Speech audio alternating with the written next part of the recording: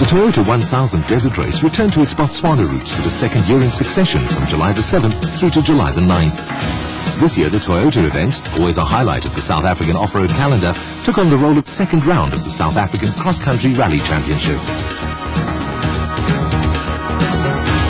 An innovation this year saw the pre-race formalities and a ceremonial start based in a busy shopping mall in the centre of Gaborone, the capital of Botswana. It was a colourful scene with the citizens of Gaborone and competitors from all over South Africa entering into the spirit of the affair. For some of the locals, pre-race activity and some of the weird machinery was all a little strange. Proceedings got underway with a 20-kilometre prologue in a lion park outside Gaborone to determine race start positions. The car's set up right, the car's short car, it's not a long car, and on the tight stuff we get through a little bit quicker than the other blokes and I'm just going to race it at my own pace.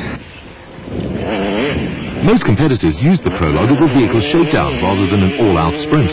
Former winner RP Reneker wasn't interested in heroics. As jy op so 'n byeenkoms uh, begin 'n fout te maak dan jy baie standtyd en dit tel teen jou en as jy almekaar kan ry en jy het nie foute gemaak by hele byeenkomste dan dan behoort jy redelik vooruit te kom. Apart from determining start positions, the prologue certainly served another useful purpose. Competitors quickly discovered that the Toyota 1000 Desert Race was going to offer up an awful lot of sand and thorns.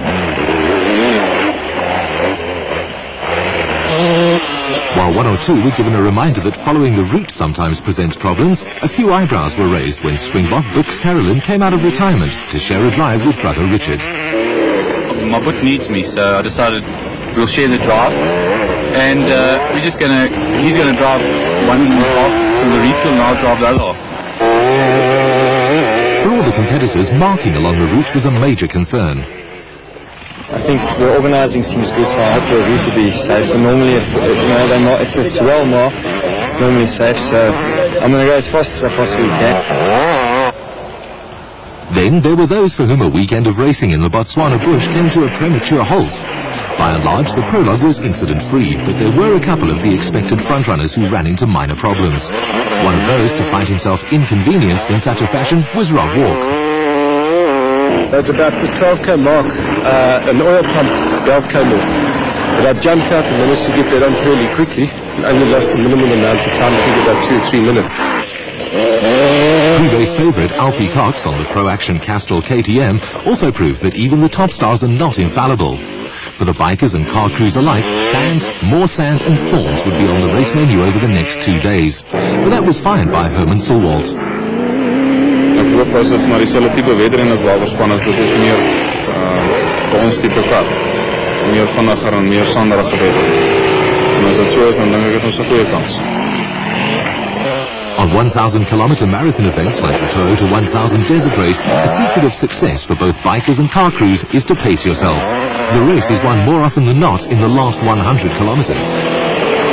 die krag en spoed om om vir die ander manne te wil voorry nie, maar sy bakkie weet ek is betroubaar. En dit ek maar gaan opreken.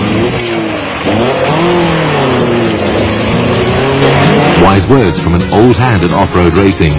The route for day one took crews from the start in Gaborone to a refuel at Shoshong at around the halfway mark for racing section one.